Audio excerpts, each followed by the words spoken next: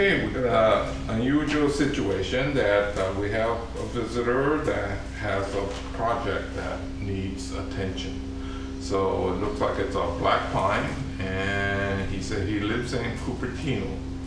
So we're gonna have to modify a few things when we get to the soil, but basically, uh, shaping of the pine is uh, the same.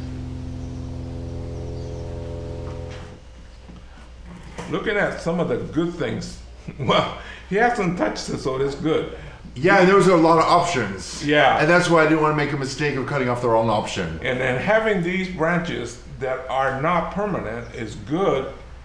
Uh, we call these the sacrifice branch, right? Okay. It's helping to fatten this area. And then, so we're gonna keep it for a while.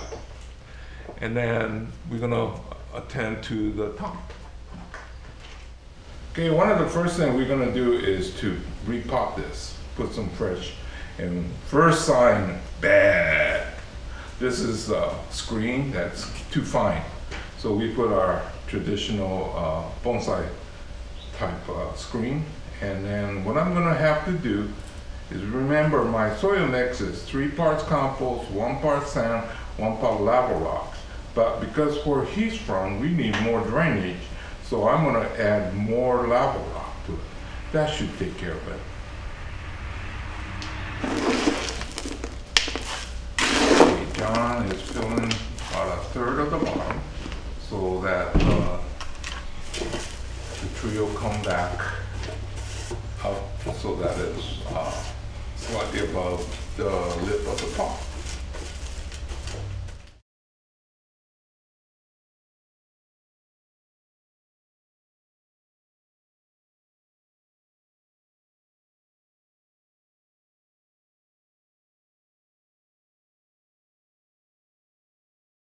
Oh, John's been watching my videos and said, hey, where's the front? Oh, yeah, I guess we should get to it since I did tell I you can to do that, right?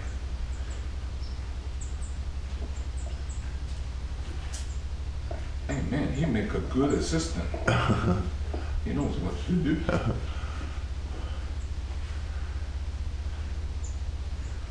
Yeah. So I couldn't decide. So this was the front. thought about the I think that there were so many options here. I I didn't want to go back seven years by cutting the wrong thing off. And that's why I'm here because I wanted to, to see maybe that's the front. And so if that's the front, then my pot is in the wrong direction. So then we'd have to cut the soil off and redirect it. So I don't know where the front is. I was like, okay, this looks pretty interesting. I love this. What's this called, Nebari? Mm-hmm. And I love that area.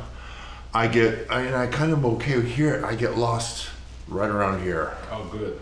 So I don't know what to do, and that's why I called you. Okay, we were in discussion. This one and this one is much too big, so we're thinking of cutting this, cutting this, and making one of these new apex. Okay, we cut this one off, and what I did was to save this so we could wrap around, get the movement, and then once this is in place, we could cut it off. You never know. Okay, now, I'll go ahead and turn it again. Okay. And then we, we're gonna determine where the front is, reposition it in the container, and then proceed on. I think that those two branches These two? was really getting uh, confusing there. So Yeah. anyway, we'll have a deep discussion and proceed on. Okay, I think we got a position, so he's gonna make the final tweak and start uh, adding more soil to it. Make sure the tilt is right. Always look from the front, look from the side too. Sometimes that tilt is off. So once that is decided, I think the Do tilt. it. Yeah, the tilt is good. I don't want it more like that. I like that. Okay, uh, why don't we go ahead and spin it? We took off a few branches, but he's got the front marked. Then we'll see what we're gonna do here. Okay, that's our front.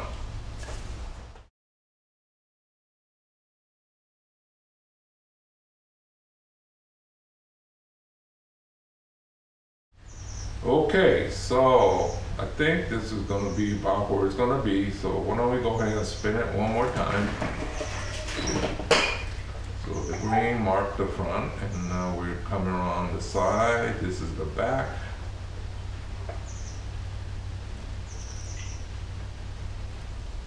So now, all he has to do is wait. And if he lives a long time, then he'll be a green tree. I could see another fifteen years on this. It's in the center here. Okay, so here's the second one that he brought. And there's some problems. But what I'm most interested i- is in this container. This is uh, a classical shigaraki pot, probably from the 70s, it might be even the 60s.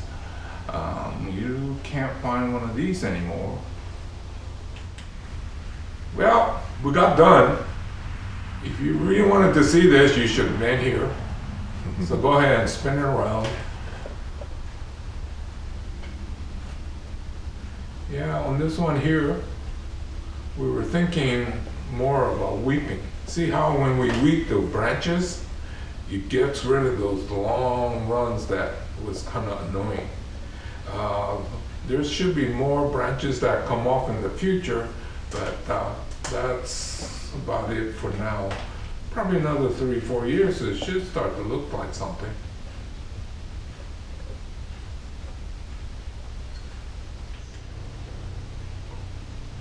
Okay, as I sign off, today my mic is up in the air. Uh, hopefully our sound was okay. But anyway, this is Hiro saying goodbye. I'll see you again real soon in another chapter. So if you have um, trees that are in need, um, contact me and we could do the same thing. Uh, being on YouTube is optional. John said he didn't mind, so that's why he's on here. Thank you. See you again.